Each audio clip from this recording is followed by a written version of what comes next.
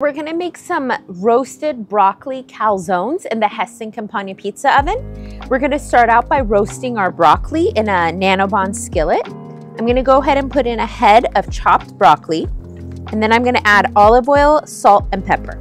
We're gonna roast this in the pizza oven for about eight to 10 minutes, just until everything's kind of cooked through.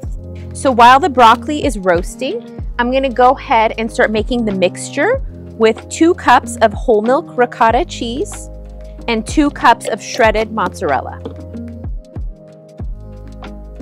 We're gonna add in chopped fresh basil, red pepper flakes, and some lemon zest.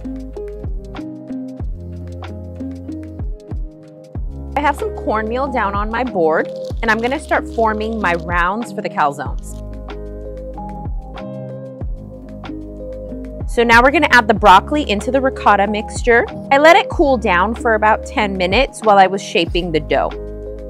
So I'm gonna egg wash the edges just to make sure that it sticks. And then we're gonna fill about half of it with a nice scoop of the filling. I'm gonna put some cornmeal on my pizza peel. And then I'm gonna egg wash the tops just to make sure they get really nice and brown.